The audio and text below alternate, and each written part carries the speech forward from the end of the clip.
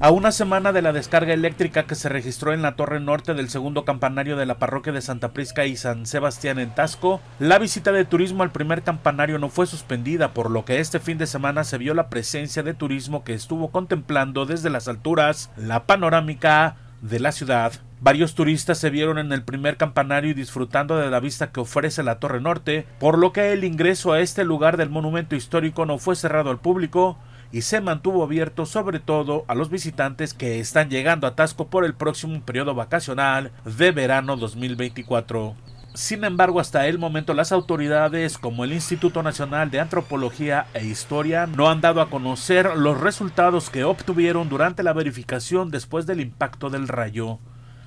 RTG Noticias, Raimundo Ruiz.